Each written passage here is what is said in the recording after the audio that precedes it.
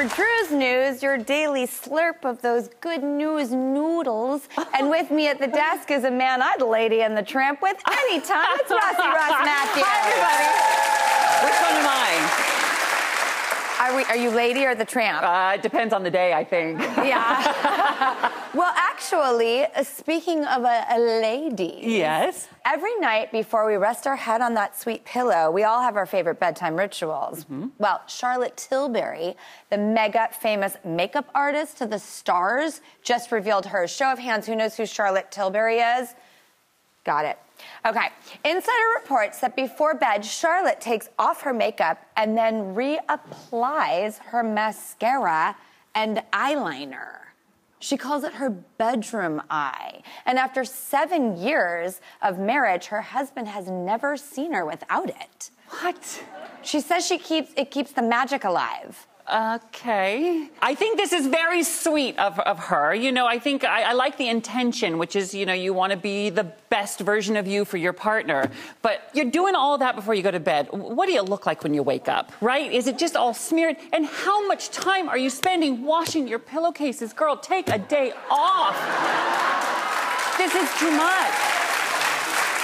Well, we've got someone in the audience who's uh, put on makeup to go to bed. Gabrielle. Oh, hi. Okay, so you do Hi, do Ross. Hi, Drew. So hear me out here. Okay. When you're at the start of a relationship, you know, you want to look your best when you wake up in the morning. So I'll wear my makeup to bed in hopes that the next day it'll still be just as fresh and cute. Usually not, but Yeah. still. Aren't you a little smeary when you wake up? Definitely. I mean, it's definitely not how I started the night um, the next morning, but you know, you still feel a little bit makeup, still a little bit more, you know, I've lost that loving feeling. Uh, as the song goes, I need to let my skin breathe. I wear a lot of makeup. I have a company called Flower Beauty, so we're always testing. Yeah. So I need to have my like no makeup moment so that I can let my skin breathe and heal because I'm always playing with makeup. I, I am obsessed. I will not go to bed without removing my makeup. If I woke up with my makeup, something really wrong happened the night before. That was a You had a good good night. time. um, I am like the obsessive face washer. Um,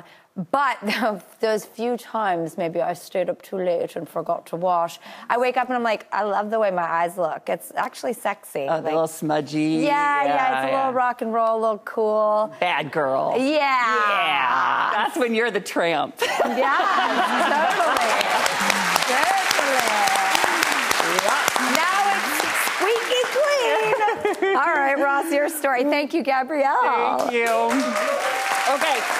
I cannot wait to get your thoughts on this one because speaking of keeping the magic alive, there's one married couple from New Jersey who's been doing it for 40 years now. But how? By scheduling their fights. The Atlantic reports Liz Cutler and Tom Kreutz swear by this system. They schedule a disagreement meeting once every three months. And in between, they keep a running list of all their grievances with their partner.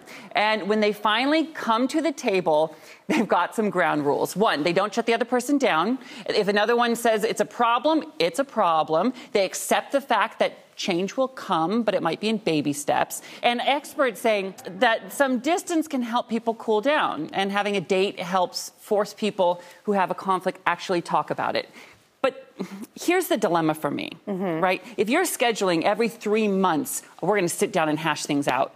Are you holding it in for all that time? Are you spending that time collecting evidence about, oh, I don't like this about you, I don't like this about you, but I'm going to keep it in and let it boil. And then on August 8th, we're going at it. I, I don't know. I okay, I love this. I have learned recently in the last few years when I've come at situations even 5 minutes later, I'm not as hot. I'm coming in a little calmer, a little more rational. Then give it a day or two. Sometimes I'm like, you know, what, I don't even care anymore. Right. I'm gonna let that go. Mm. So I'm not hating it, Ross. I'll tell you, here's the deal. I think you address little fires, and then, yes, a State of the Union meeting once a month would be really good. But if you're going to schedule that, you should also be scheduling other things like date nights, sex, something fun, something you're not dreading all month long. Can we have a little fun, please, too? In the meantime. Well, Ross, um, one month today, Mm-hmm. um, from one month today, I think you and I should come with our notebook. Oh, um, And I'm going to need another notebook. No, I'm kidding. I'm kidding. I'm kidding. I'm kidding. I love you. I know. Raise of hands. Who would do this uh, every three months? Raise the polls. Raise your polls. Green for I would do this, red for no way in heck.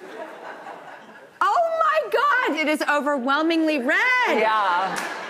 Well, we'll talk about this, Drew, in about three months. All right. One month. One, month. Okay.